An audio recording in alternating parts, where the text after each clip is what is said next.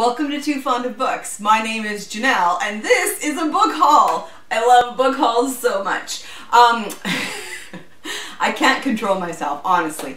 So these are books that I got either for free or ridiculously cheap. And so I love a good thrifty book haul. And so these are all books that I picked up either free from the library or uh, really cheaply at a thrift store. So let's start with the books that I picked up at the library. So our library has a pop-up book sale, which is just a cart with books on it. And normally those books are super cheap, you know, like paperbacks are 50 cents and hardcovers are a dollar. So I love looking at my library's pop-up book sale. But for the time being, the library pop-up book sale is free because they don't want to, uh, I guess they don't want to uh, worry about uh, cash in our current climate. And so I, whenever I go to the library to pick up holds now, I always check out the pop-up library primarily to, to grab some books for our own little free library. It's going super well. Um, people in our community are using the little free library and I am so, so excited about that. But uh, so far, not so many people have been uh, leaving a book. Tons of people have been taking books, which is great, but uh, not as many people have been leaving books. And so um, grabbing books for free from the pop-up library for our own little free library has been great. But of course, if I see a book that I want to read for myself, then I grab that as well. And so these uh, five books are ones that I got for free from our library book sale. I grabbed The Constant Princess by Philip, Philippa Gregory. Uh, this is from her Tudor series, so this is historical fiction, and this is the book that she wrote about Catherine of Aragon. Arag Aragon. Sorry. I got I got a little uh, the Lord of the Rings there. Ooh, that would be a good mashup, wouldn't it? Okay, Anyway, seriously. Okay, so Philippa Gregory. I believe that I've read at least one book by Philippa Gregory, but it was years ago, and I feel like she's an author that I need to give another chance to. So, since I got it for free, great. And if I don't like it, I'm putting it in a little free library.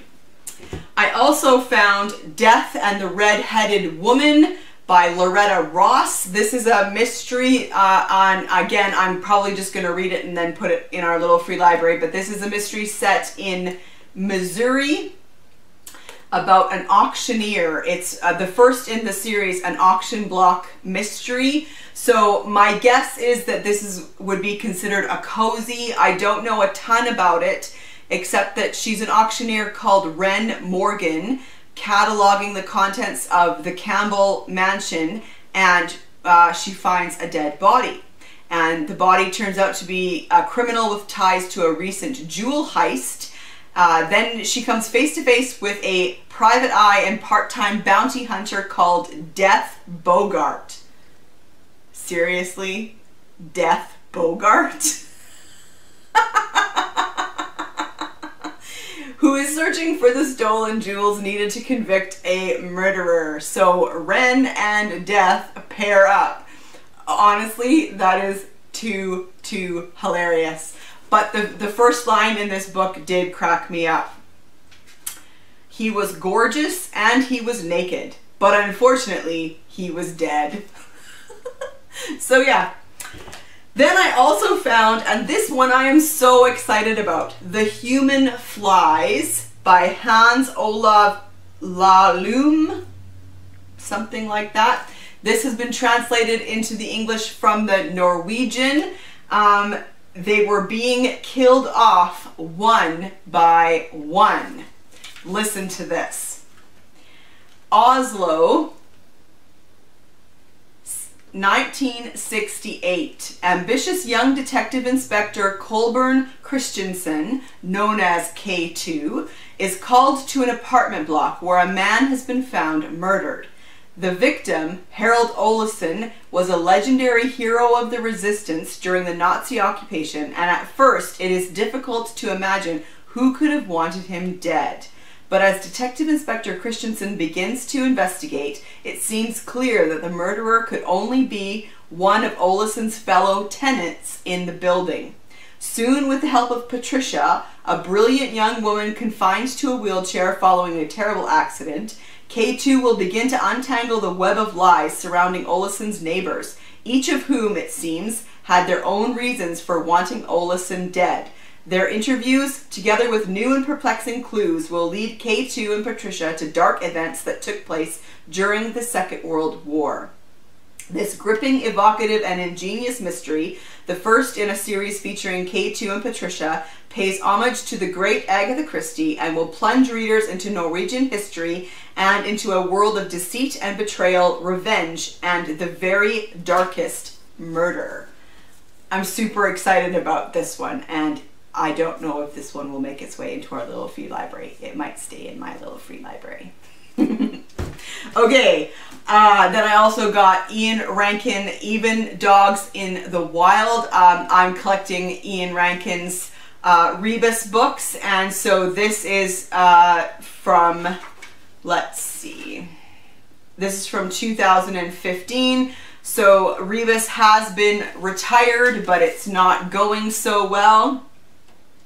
And so when D.I. Siobhan Clarke asks for his help, he, of course, doesn't need to take very long to uh, decide to help. She's been investigating the death of a senior lawyer whose body was found along with a threatening note. On the other side of Edinburgh, Big Ger Cafferty, Rebus's longtime nemesis, has received an identical note and a bullet through his window.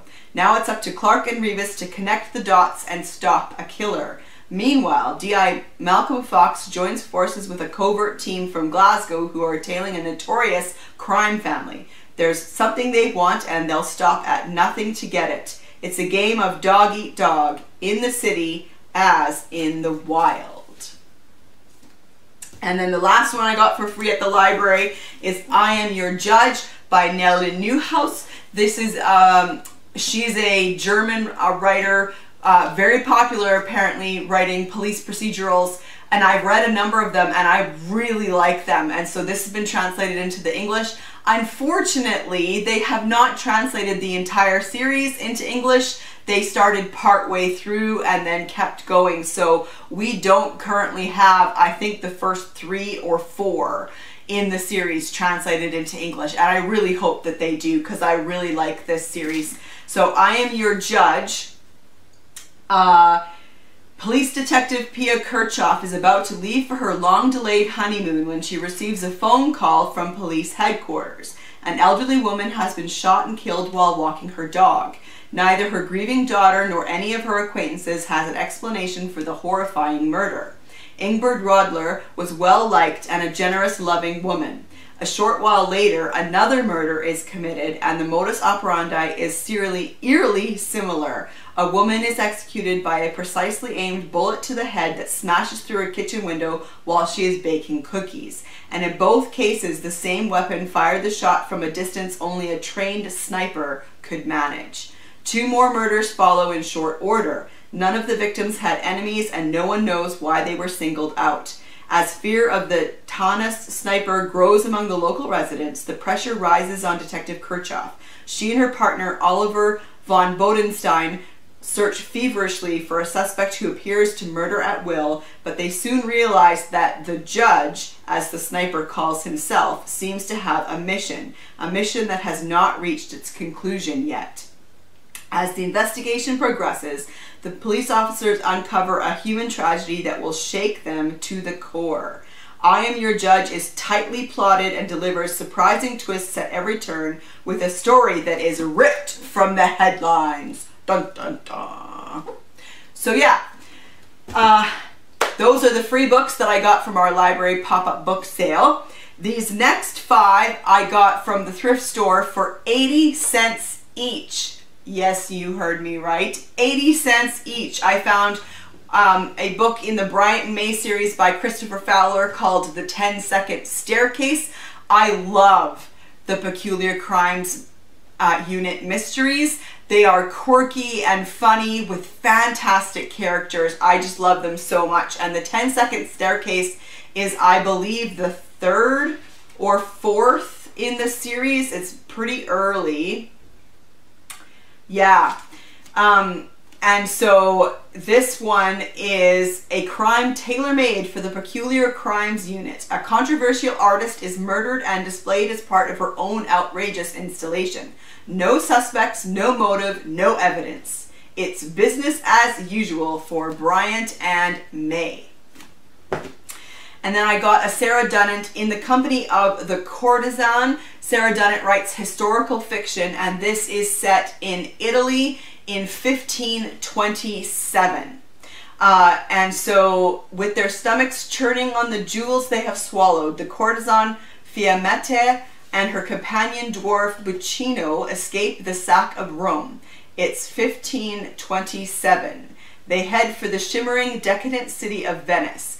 Sarah Dunant's epic novel of 16th century Renaissance Italy is a story, um, uh, let's see, intoxicating mix of fact and fiction and a dazzling portrait of one of the world's greatest cities at its most potent moment in history.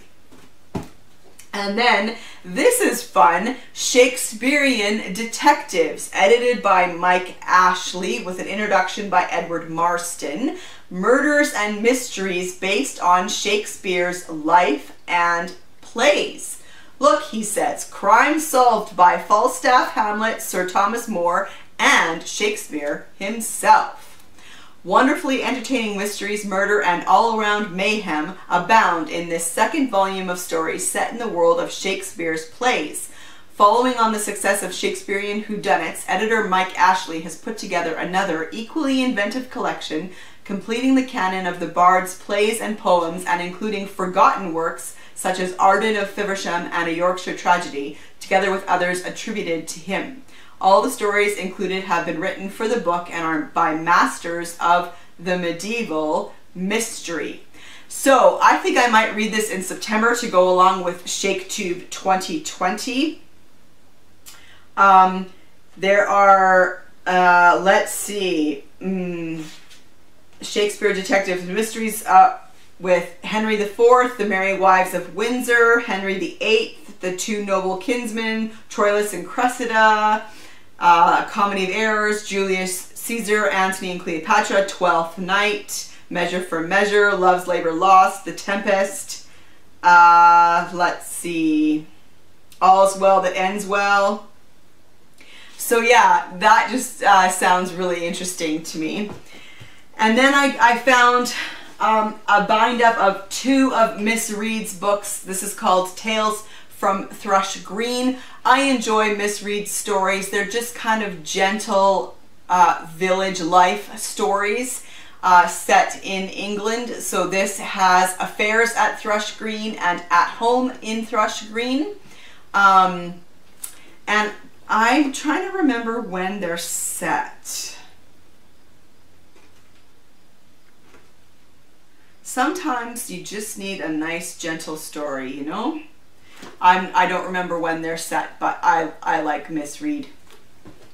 And then I found Kate Quinn's The Huntress. Can you believe that I got this for 80 cents? I'm so excited. My favorite though was the Alice Network and I'm still looking for that one, but I did enjoy The Huntress as well. So this is historical fiction um, and The Huntress is set following World War II. Bold, reckless Nina Markova grows up on the icy edge of Soviet Russia, dreaming of flight and fearing nothing. When the tide of war sweeps over her homeland, she gambles everything to join the infamous Night Witches, an all-female night bomber regiment wreaking havoc on Hitler's Eastern Front. But when she is downed behind enemy lines and thrown across the path of a lethal Nazi murderess known as the Huntress, Nina must use all her wits to survive. British war correspondent Ian Graham has witnessed the horrors of war from Omaha Beach to the Nuremberg trials. He abandons journalism after the war to become a Nazi hunter, yet one target eludes him the Huntress. Fierce, disciplined evil, Ian must join forces with brazen, brazen cocksure Nina, the only witness to escape the Huntress alive. But a shared secret could derail their mission unless Ian and Nina force themselves to confront it. And then these last three I also got from the thrift store for a dollar each, which is also uh, it's just super cheap. So this is a Georgette Heyer called Beauvallet. Now I'm excited because this is one of her earlier ones. This is from 1929. Yes, 1929. I really like Georgette Heyer, uh, and I'm always excited when I can find uh, some of the earlier ones in a collection. Mad Nicholas to his friends, Scourge, Scourge of Spain to the enemy. Sir Nicholas Beauvallet has never been known to resist a challenge. When a captured galleon yields the lovely Donna Dominica de Reda y Silva, he vows to return her and her father to the shores of Spain but he has no sooner done so than he proposes a venture more reckless than any of his exploits on the high seas, which have made him Drake's equal and a favorite of the queen. He will take Dominica as his bride, even if he must enter the lion's den. Ooh. And then I found Old City Hall by Robert Rotenberg. This is a Canadian mystery set in Toronto, so I'm going to count this for my Canada Read, Read Canada sub-challenge for of my Around the World reading challenge. And so this will count for the province of Ontario, so that's very exciting. This book was nominated for the UK Crime Writers Association John Creasy New Blood Dagger Award finalist for the Elle magazine in France Best Crime Novel of the Year, and nominated for the Forest of Reading Evergreen Award 2010. And so I believe that's when this book came out, 2009. Did Canada's favorite radio host commit murder? Kevin Brace, Canada's most famous famous radio personality, stands in the doorway of his luxurious condominium hands covered in blood, and announces to his newspaper delivery man, I killed her. His wife lies dead in the bathtub, fatally stabbed. It would appear to be an open and shut case. The trouble is, Brace refuses to talk to anyone, including his own lawyer, after muttering those incriminating words. With the discovery that the victim was actually a self destructive alcoholic, the appearance of strange fingerprints at the crime scene, and a revealing courtroom cross examination, the seemingly simple case takes on all the complexities of a hotly contested murder trial. In the tradition of defense lawyers turned authors like Scott Turow and John Grisham, Robert Rotenberg delivers a legal thriller rich with his forensic skill and insider knowledge, taking readers on a tour of Toronto from the Don Jail to the towers of Bay Street and into the shadowy corridors of the old City Hall courthouse. So that sounds really good. And then finally, this was so exciting. I love shopping in thrift stores because you just never know what you're gonna find. And so this is How to Tell Stories to Children plus 33 Stories to Tell Them by Sara Cone Bryant. And this was a book originally published in the early 1900s. Uh, let me see, 1910. And so she is apparently a children's author who was well known at the time. And she basically shows you how to tell a story um, because there is skill to it. Honestly, I, I tell stories a lot and I, I work with children. And so I'm super excited to kind of delve into this and to learn some of those timeless, um, some of those timeless skills of how to tell a story that is engaging. Um, for telling a story well is much more than reading a book aloud. It is a skilled art that can make all the difference between a bored, fidgety listener and an enthralled one. So yeah, I was super excited to find that, and um, yeah, I'm gonna delve into that and see uh, see what I can learn. So that was my super exciting, really cheap book haul. Have you read any of these books? I would love to chat with you in the comment section down below. Do any of these books sound interesting to you? Um, let's chat. You know I love to talk about books. And I'll see you for another video soon. Bye.